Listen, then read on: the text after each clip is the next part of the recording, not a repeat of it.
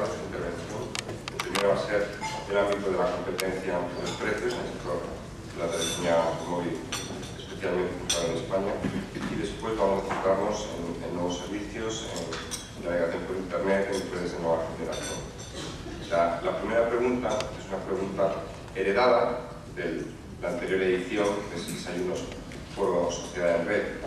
Fue un desayuno en el que el presidente de Oro consideró que en España el regulador parecía abducido por el incumbente, dada la suavidad con que le imponía sus obligaciones durante los últimos años en detrimento de la competencia.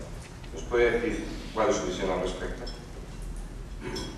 Bueno, no sé si la pregunta eh, tiene que ver mi visión sobre esa posible abducción del, del regulador o sobre, o sobre su, su, conducta. Y, no, eh, nosotros hemos estado centrados en el sector de móvil y yo debo reconocer, y de hecho resaltaba eh, mis palabras, eh, lo que creo que es el éxito de un modelo regulatorio donde podemos haber tenido discrepancias sobre la oportunidad. Eh, la, nos ha preocupado no tanto el criterio utilizado por el regulador nacional como la posible, el impacto de la posible descoordinación entre los diversos reguladores. Porque aquí estaríamos hablando de la CMP, pero estábamos hablando también de otros muchos reguladores, como por ejemplo Sanidad y Consumo o Bruselas. Y cuando hemos, las pocas veces que en público hemos dicho algo, hemos alertado de los riesgos de descoordinación el impacto en el negocio. Por lo demás, precisamente lo que yo hacía era alabar un modelo de competencia que se ha mostrado muy eficaz.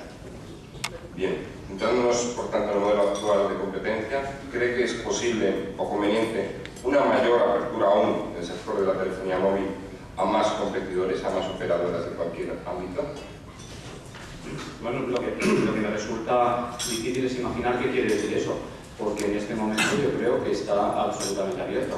Decía, hay más de 20 marcas compitiendo, en las últimas dos semanas se han anunciado dos o tres nuevos, hay más por venir, y no sé qué le impide a nadie que quiera competir en este mercado ponerse a competir. Naturalmente tiene que tener unos planes de negocio detrás que le, que le tienen que salir. Entonces, conveniente más apertura, me parece que la, la apertura es, es, absoluta y bienvenido sea cualquier competidor que, que, decida, que decida participar. Bien, otro asistente pregunta, ya centrándonos en la situación actual, ¿qué impacto cree usted que tendrá en las cuentas de Vodafone la agresiva reducción de los operadores móviles virtuales tan económicas. ¿Cuáles son sus perspectivas tanto en cuanto a la empresa que usted dirige como al sector de la telefonía móvil a dos años vista? Yo eh, antes, no sé si me jactaba o qué, pero decía que en nuestra carga genética está la obsesión por el cliente e implícitamente la costumbre de competir.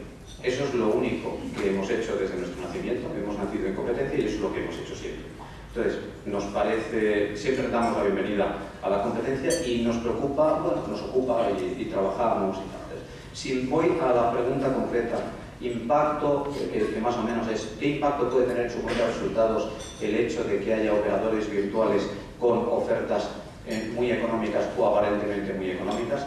Bueno, el efecto de la competencia depende de cómo sepa responder. Pero lo primero sobre lo que quería llamar la atención es ¿Realmente estamos hablando de ofertas muy económicas o yo las llamaría aparentemente muy económicas?